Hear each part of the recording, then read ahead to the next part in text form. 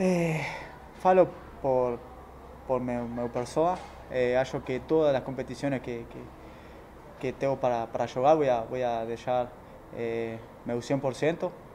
Eh, eu sei que, que estoy eh, debe para, para os torcedores do Atlético por, por el ano passado, mas eu trabalhei meu, meu cabeça e acho que este ano vai, vai ser de, de muita, muitas coisas bonitas para para todos, para mesmo el, el, time y para los torcedores también.